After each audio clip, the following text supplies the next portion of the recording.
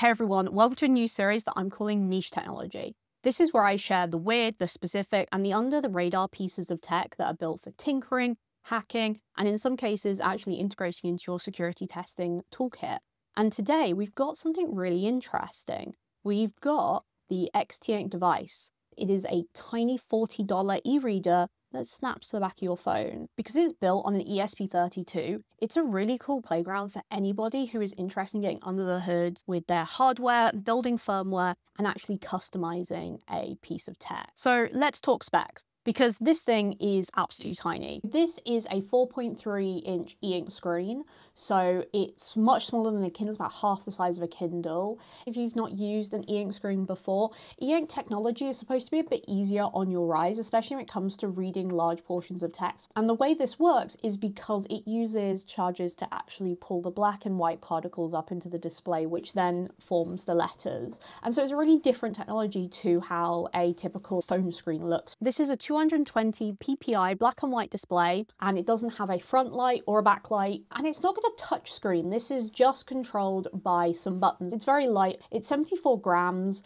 For reference, an iPhone Pro is around 200 grams. It's really easy to carry with you, put in your pocket. This device uses USB-C charging. It's ESP32 based and it's got 128 megabytes of RAM. It ships with a 32 gigabyte SD card and this is more than enough for most books. If you're reading something like comic books that have a lot of images and therefore you need more storage space, it's compatible with SD cards up to 512 gigabytes. Because this is actually a really small e-ink device, you could use it for much more than an e-reader. You could turn this into a control panel for your smart home. You could use it as a little conference badge. You have lots of other choices. But let's talk about the reading experience. I've always been like a massive reader in my life. I read it almost every single day. My current go-to e-reader is a Boox Go Color 7. The advantage of something like a Boox is because it's got a full Android operating system, you have a lot of choices in which apps you use. You can use things like the Kindle app. You can use third-party apps like BookFusion or KOReader. You can have PDFs. Use a PDF reader. And this doesn't always fit fantastically in my pocket. I have to squeeze it in there just because of the larger size of it. Now this device, it's not going to be as customizable as something like an Android tablet or even like an iPad. This is really a minimal device. In terms of aesthetics, it's very clean. It reminds me a lot of Apple products in the kind of slick, clean design. It comes in either white or black. I have the white version. It's got a very smooth back. It's not textured in any way. It's got a little lanyard hole and it has eight buttons on it. So we have four buttons on the front, two big kind of volume rocker style buttons which have two buttons on the inside. So we've got yes, no, page forward, page back. We have a reset button on the side here and we have an on and off switch and then we have another volume rocker. Again, the advantage of having this many page forward buttons means you have a lot of choices on how you want to hold this device. I have quite small hands and this is really comfortable to hold.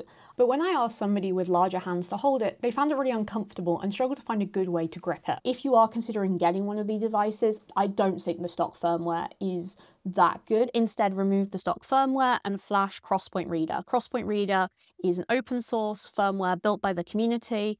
And because it's ESP32 based, it is so easy to write your own features. The community is developing so quickly and so many cool features that it's well worth it to go and use the community firmware instead.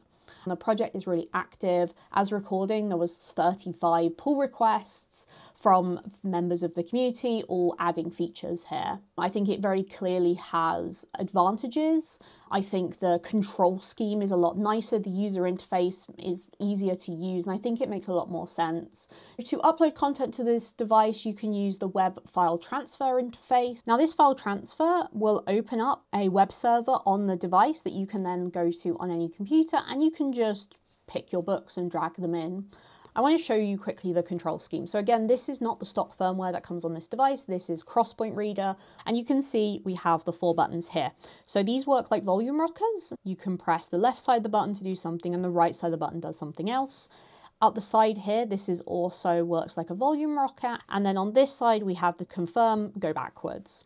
And this is what the book looks in portrait mode. You can hold it like this like you would if you're scrolling on a phone, or you can hold it, say, like this, and use the buttons here. In landscape counterclockwise, you go back and forward. You also have the option to switch this to be the other way around. So if you want your buttons on the top versus buttons on the bottom, maybe you want to hold the device like this, you can do that too. This hasn't got a gyroscope, so if I do this, it's not going to do it automatically. You do have to go into the settings and change it. So on the topic of settings, there's quite a lot of settings here. You have options to change how the sleep screen looks. You have choices of how you want to display a status bar. You can change the reader font size, the line spacing and the margin. I would suggest having this to be as little as possible that you need to read because quite simply, it's such a small device that if the text is too big, it's borderline unreadable. I think you want to make these as small as you can comfortably read it. Then at the very bottom here, you have settings for Calibre. So Calibre, if you've not used it before, is an ebook library application that you install on your computer. Now, somebody has taken the Calibre database format and developed something called Calibre Web, which is your own version of their Kindle store.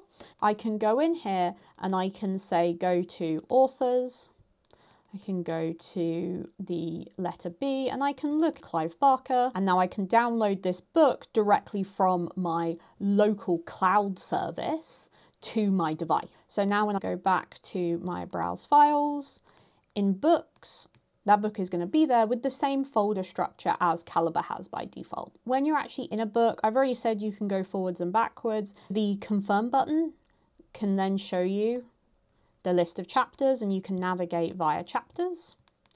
And then if you hold the back button, it's going to take you to the home screen. Now, if you do use a Kindle and you've seen its version of flipping through pages where you can see a kind of preview of the page right in the middle. This does not have that. You only have the choice to navigate via chapters. To give you a comparison of what this feels like when compared to, say, my Boox. When you actually look at reader controls, you have a lot more options. You can change directions, you can change alignments, you can change the font style, the mud, you can really customize this experience. Now, one of the kind of ways this advertises itself is these MagSafe rings that it comes with. The idea being is what they want you to do is to get your phone which is compatible with MagSafe and stick it on the back like this and then you carry them both together.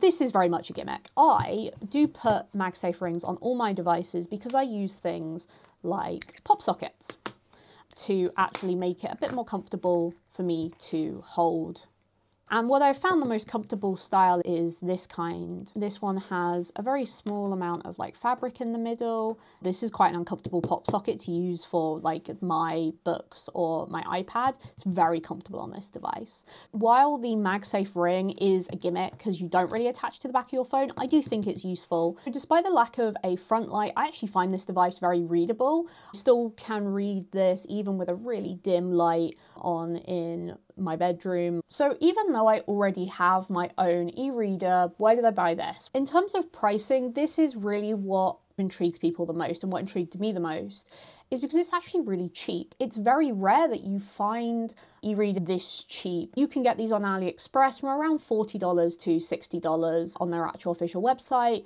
I paid $77. The trade-off here is that if you buy from AliExpress, you are going to have a longer shipping time. Generally, I thought the service from the company was good. I felt relatively confident it would arrive and I bought this completely with my own money. This is not something the company has sent me. So what makes this a niche piece of tech that I think you should consider? For me, it's the hackability. Out of the box, it's fine ish. It's usable. I immediately removed the stock firmware and flashed Crosspoint Reader. While some features are lacking, like images and books, I feel like the speed in which it is being developed and the additional features it has, things like Calibre web syncing, I think are a must. I wanted to quickly talk about the development experience because I think that's where this really shines as a piece of niche technology that I think is worth buying. I built and flashed everything using Visual Studio Code using something called PlatformIO. All the code in the firmware is C+, and getting started is honestly very simple. Plug in your device into a USB port with USB-C and run this command, which is IO run target upload I had a really good experience here using AI to help me prototype and iterate on features, especially when I wanted to move fast without trying to relearn every part of the code base constantly.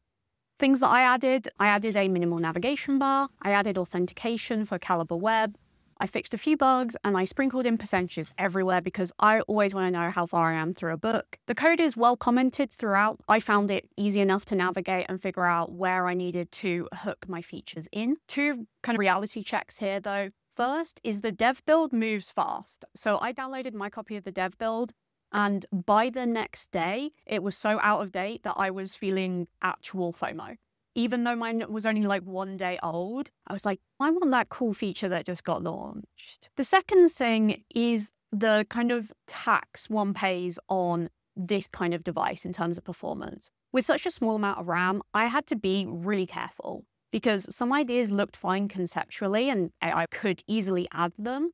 But I actually ended up crashing the device because I wasn't good enough to keep it performant and stable. Look, I'm to be honest, this is not a Kindle killer this is not like anywhere close to as nice and usable as a Kindle is. You don't have a full ecosystem. You don't have the ability to buy books. This is something where you need to already have your own digital library that you've already curated. If you read technical books, this is an absolute nightmare. There's no way to highlight or bookmark anything it's not going to replace my current e-reader. I do find this very readable and very comparable to my Boox. I think if I was still making the decision though, do I want to read one of my books or do I want to read on this? I'm almost always going to choose the Boox because it is a better reading experience and it's more flexible. I am a big fan of my Boox device. This goes with me everywhere, whenever I travel, whenever I go outside the house. It's not the most like pocketable in comparison, it's not the most pocketable kind of device, it does fit my pouch though when I'm wearing a hoodie. I think this device is really cool. If you have an e-reader like a Kindle or a Boox and you're actually really happy with it, I think you just keep with what you have. If you are experimenting, if you're really interested in hacking it, I think it's a good fit. And for me, the fact that I can actually hack this and I can write my own firmware and I have added my own features based on what I want out of an e-reader is absolutely huge. Like I have added stuff to Crosspoint Reader already, and that to me is a massive advantage. And I think this is great piece of niche technology that you should consider buying and experimenting with yourself.